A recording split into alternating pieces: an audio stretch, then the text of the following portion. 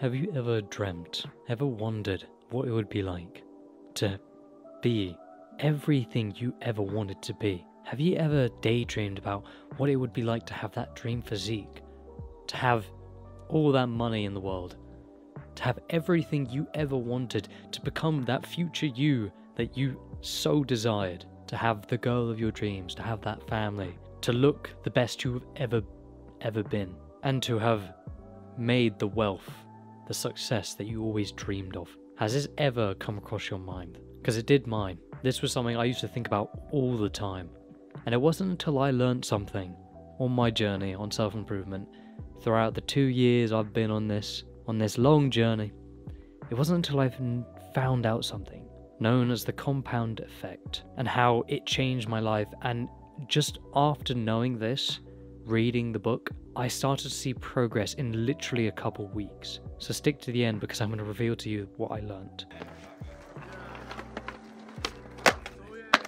Now, The Compound Effect is a book that I've read by Darren Hardy, and it basically relates around this idea that small, smart choices over a long period of time, the principle of reaping big, big rewards in the future from consistently making the small, smart choices now. Literally to the point of choices that seem so insignificant that you don't even realize. For example, say there is someone who's overweight, trying to get into the gym. At first, he's not doing a lot, you know, he's going three days a week. He's trying though, he's really, really trying. And then he has one of those days, which maybe you have as well, where you wake up and you just aren't feeling it. You're just not 100%.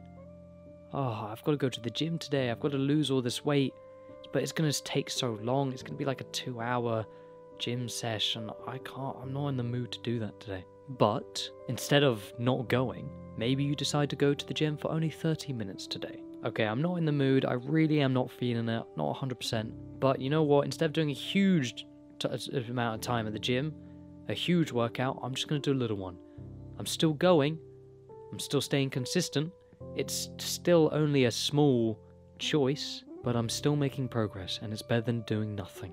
Now, there has been a moment in time in life where we have all wanted to do the better habits, the slightly more healthier option, so we can either look a little bit better, so we can get a sort of reward from it, something to show for all this hard work we've put in. You start going to the gym consistently, you get the dream physique you never thought you could have or you lose all the weight that you've been trying and thinking about doing for so long. And the question is, how? How can I make that much of a change, that much of a difference? What is the fastest route to changing my life? And there isn't one. There is no sort of quick solution to being able to get to that dream version that you want to get to, that dream you who has everything you want. There is no quick way. I'm sorry to say this. And this might be where 90% of people click off. If you don't, then congrats, you're in the 10%. But it's not, it's an ugly answer. I don't blame those for clicking off. It is not a pretty answer that there is no fast way to getting the thing that you want. But there is something that you can do, and that is just start. Like the compound effect states, like in the book, just start.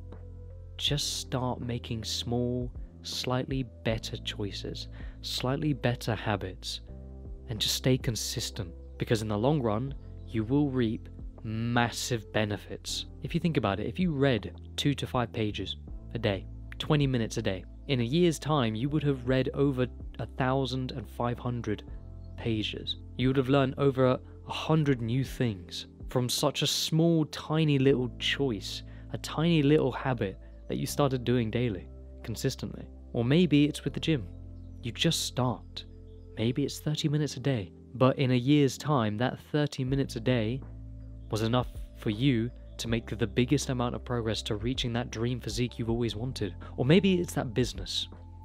You spent as little as 20 minutes learning about business, the business models out there, how to make a business, what business model works for you. And you spent a year learning, practicing, buying all the books, reading all the information, studying. And in a year's time, you could create your own business with all the knowledge to back you up and you could make it successful. and achieve that success you've always wanted. Just start. But then the question is, how do you get consistent? That's the problem you may be struggling with right now is staying consistent. Consistently doing the good habits. Maybe you have started, but you just can't stay on this path. There's another thing that's mentioned in the book, and that is become aware of your choices. Now, this is something that has greatly helped with me staying consistent every single day, consistently getting up at 6 a.m. every single morning, creating daily videos such as this, going to the gym daily as well, and consistently eating healthy and stopping eating all the junk food that I used to.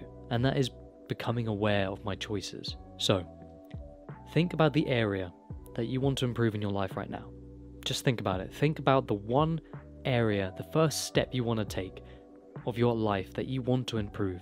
Maybe it's your physical health. And I want you to track all the things, all the actions that you do that is related to this area of your life that you want to improve.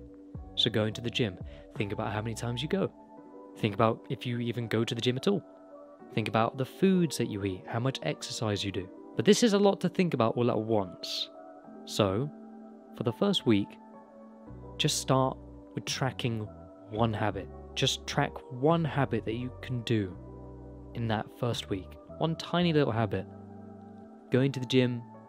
I'm going to go to the gym three times this week, from 30 minutes to an hour. Only three times, but that's a start because I've never gone before. And another thing, you want to focus on the action that has the most control over your life.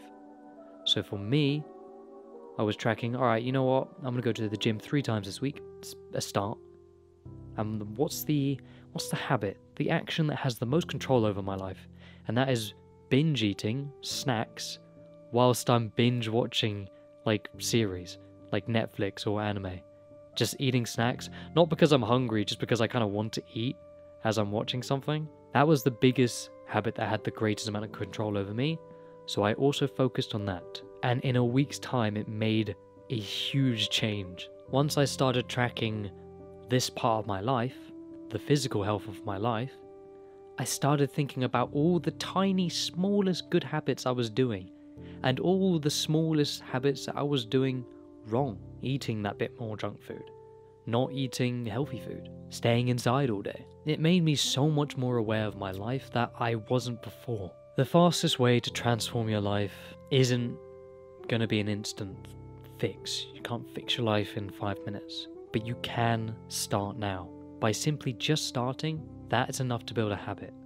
Repeated choices are enough to build a habit. I hope this video helped you out. And I hope things have been good. I hope you've been alright. And I would be really appreciative if you clicked on the video that's going to pop up in the corner here, because this video could help you out as well and subscribe if you want to see more content like this. Stay consistent and do the best you can. You know what time it is? Yeah, come here. Self improvement kids. Mwah!